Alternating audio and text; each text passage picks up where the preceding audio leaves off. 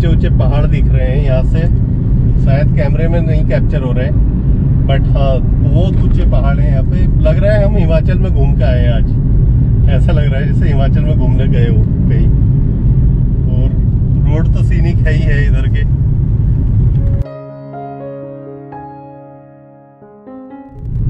Welcome back to channel and hope करते हैं सभी अच्छे होंगे। तो अभी हम निकल रहे हैं जो नेत्रोवली बबलिंग लेक है, वहाँ से वापस अगोंडा की तरफ़। तो अब यहाँ का जो रास्ता था पूरा वो दिखाऊँगा आपको। बहुत ही सीनिक रोड है। और इस वीडियो में जो रास्ते में और भी अच्छी अच्छी जगह दिखेंगी, वहाँ पे रोक रोक के हम दिखाते हुए चलेंगे। जो आते हुए मैंने नहीं दिखाई थी तो वो सारी चीज़ें दिखाते हुए जाऊँगा अपने आप एंड वीडियो अच्छी लगे तो लाइक शेयर कमेंट करके बताना। और सब्सक्राइब कर लेना चैनल को जो पहली बार आए हैं। तो अभी इस तरह के ब्लॉग आपको मिलते रहेंगे वीकली हम ऐसा सोच रहे हैं कि वीक में एक बार कोई छोटी मोटी ट्रिप करते रहेंगे इसी के पास, गोवा में, आसपास के एरिया में।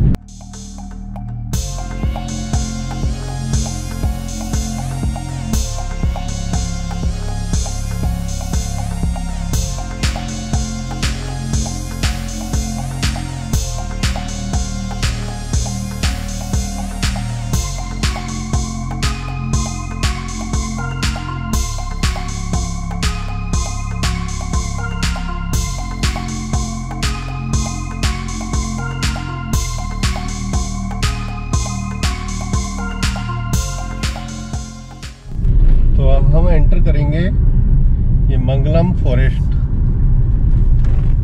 चेक पोस्ट है उसके अंदर।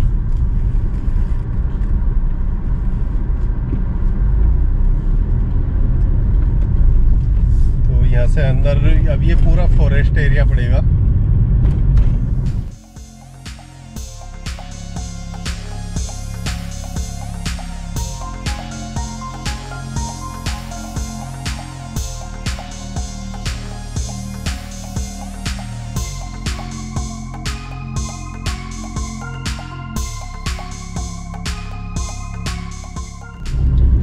हमने क्रॉस कर लिया है पूरा नहीं जो फॉरेस्ट एरिया था।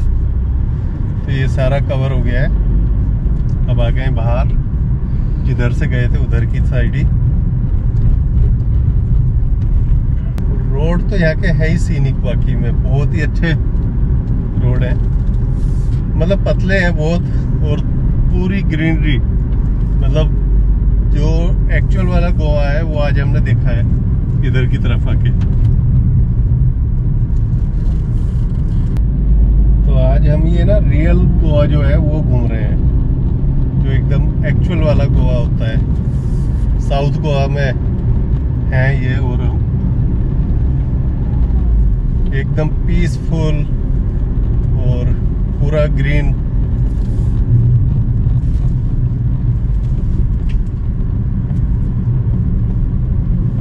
वाओ साइड में छोटा सा नाला टाइप जा रहा है। बरसात में इसमें भी पूरा पानी होता होगा। और अभी हम पहुँचने वाले हैं वाटरफॉल पे, जहाँ पे क्या हमने पहली वीडियो में आपको दिखाया था फ़र्स्ट वीडियो में। तो वो बड़ा अच्छा था वाटरफॉल अभी थोड़ा पानी कम था बट बरसात में आएँगे तो और भी ज़्यादा मिलेगा पानी वहाँ पे।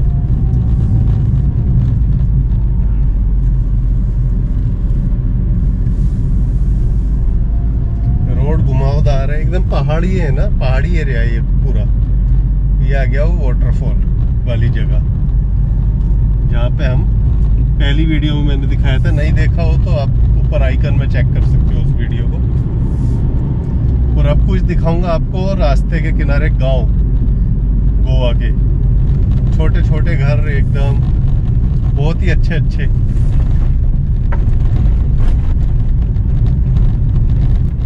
यही यहाँ पे थोड़ा ना खेती वगैरह का एरिया है, यहाँ पे खेती होती है।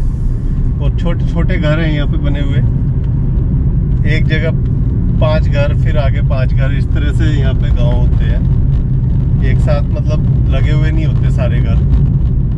थोड़ी थोड़ी दूर पे मिलते रहते हैं। भी है कि नहीं, मुझे प्यास लगी थी, बट शायद बंद है उधर। आगे देखते हैं एक पानी की बोतल लेनी है पहले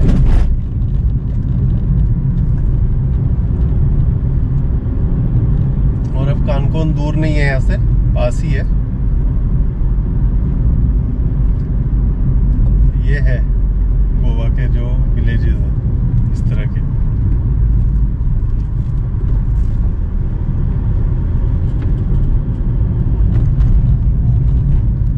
तो फाइनली पानी पिया है अभी और गला सूख गया था सुबह से बोलते बोलते अ, कैमरे के सामने। तो ये जो एरिया है जहाँ से अभी हम निकल रहे हैं इसको बोलते हैं गाउडोरी गाउडोरी एरिया है ये और यहाँ से मतलब ये बाँस वगैरह बोलते हैं, जो छोटे छोटे घर हैं दूर, उनको। और केले मतलब नारियल के पेड़ बहुत हैं इधर। ब्यूटी बहुत है। और केला भी काफ़ी है इधर, केले के पेड़ भी काफ़ी है। तो ये देखो, दोनों साइड में आपको दिख रहा होगा। केले के पेड़ लगे हुए हैं, नारियल के पेड़ भी आगे दिखेंगे अभी। हाँ आगे लगे हुए हैं। और पतला सा रास्ता जा रहा है बिल्कुल बीच में से। चारों तरफ़ यहाँ पे पहाड़ है, ये नीचे में एरिया है और प्लेन है बिल्कुल। यहाँ पे चारों तरफ़ पहाड़ है। छोटे छोटे पहाड़ मतलब बहुत बड़े वाले नहीं है यहाँ पे। तो एक अलग ही मज़ा है यहाँ पे।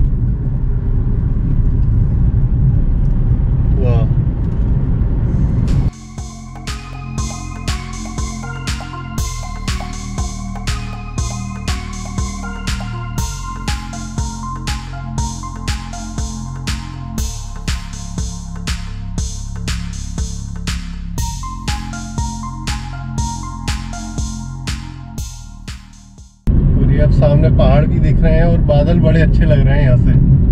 अभी हल्के हल्के बादल हो रखे हैं। पहले धूप निकली हुई थी। तो ऑलमोस्ट हम इस एरिया से अब निकलने वाले हैं और इससे आगे फिर थोड़ा वो कानकोन वाला रोड आ जाएगा। वो भी काफ़ी सीनिक रोड है। काजू के भी काफ़ी झाड़ हैं इधर।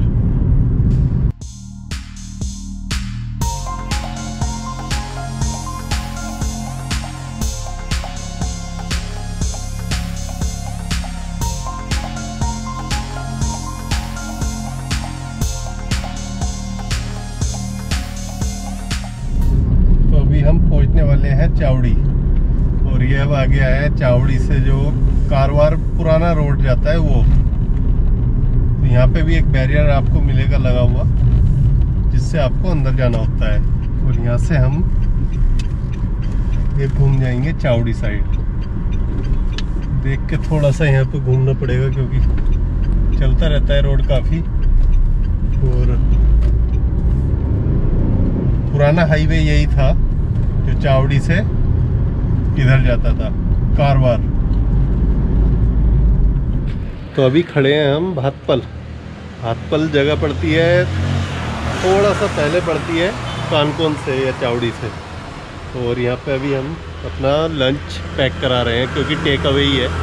और लेट भी हो गए थे तो सोचा कि लंच लेके चलते हैं साथ में घर। और वहाँ कांग्रेस हाईवे भी अच्छी तो हाँ। टाइम हो गया था। हाँ तो उसमें रो रोस ऑमलेट उसकी फेवरेट है। और तो यहाँ से टेक अवे बहुत टाइम हो गया टेक अवे है टेक अवे लेके। जाके घर खाएँगे आराम से। देखो इसकी खुशी देखो रोसम की